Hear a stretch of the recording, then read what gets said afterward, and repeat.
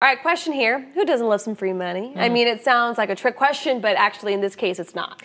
You can have money waiting for you that you don't even know about. Yes, and there are so many unclaimed checks sitting at the county and state level right now. One could be yours. Mine's not there, but Brianna Bowles is here now to tell us how to check. Well, unclaimed property can be from a lot of places, including forgotten bank accounts, uncashed checks, forgotten safe deposit boxes. So that means sometimes it's precious items and other times it's money, neither of which are bad. One in five Floridians has unclaimed funds and it's free and easy to see if you are one of them. As Bridget just said, she checked. The state has a website where you can check uh, with them called fltreasurehunt.gov.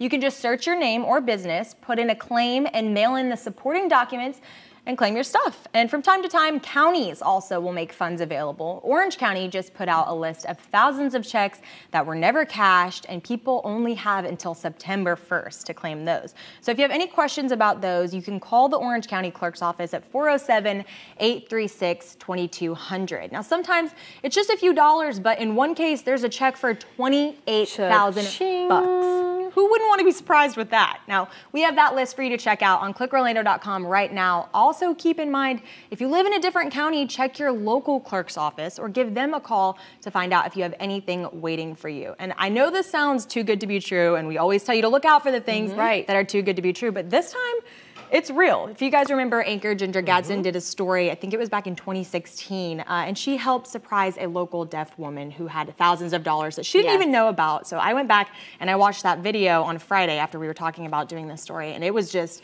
unbelievable. When yeah. you look at the list of names, it makes you, you know, want to contact these right. people whose right. names are there, and even businesses are yeah. there too, like names of businesses. So if you are checking mm-hmm. and you see yeah. someone you know, let them know. I had a few hundred dollars, but I had gotten a letter and I thought it was a scam, so I go running to Mike oh, Holfeld and yes. give it that to him, and it was real. When, yeah. when you're dealing, this is with the government, so you can feel safe about doing this. But yes. normally we do tell you to watch out. Now I'm telling you, go for it. Yeah.